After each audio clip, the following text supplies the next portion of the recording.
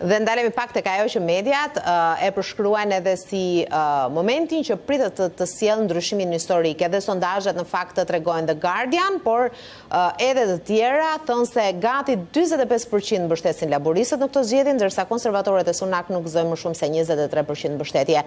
Pse ky zhgënjim pasi kaq i madh për ata që drejtuan vendin në 14 vite dhe që nuk janë pak 14 vite?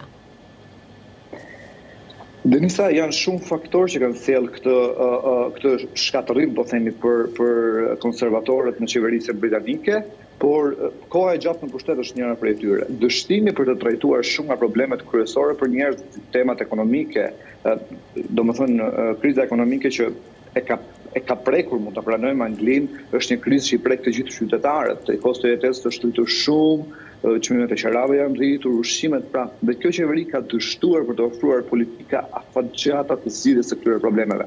Dhe prandaj ka një lloj zhgënjimi të madh nga njerëzit. Sondazhet në fakt tregojnë që laburistët do kenë ndoshta një fitore historike, ndoshta fitoren më të thellë në njëqind vitet e fundit dhe një fitore edhe më të thellë se sa Toni Bler që ishte po themi kryeministri i fundit më i famshëm dhe më i suksesshëm laburist, mendohet që Partia Laburiste këtë vit do të ketë këtë mazhorancë, por nuk dihet se si do të qeverisë dhe sa gjatë do të shkojë kjo mazhorancë, sepse vërtet kemi shumë probleme që janë akumuluar gjatë qeverisjes katërmbëdhjetë vjeçare, por Për hir të së vërtetës mungon një plan i detajuar ose të paktën ashtu siç edhe gazetarët vjen në në në debat e përmendën disa gazetarja e përmendën disa herë është se edhe laburistët nuk e kanë publikuar planin e tyre. Pra si do ta shpëtojnë ekonominë? Si do t'i trajtojnë këto probleme që me të drejtë po themi që i ka shkaktuar partia konservatore gjatë gjatë kësaj qeverisje?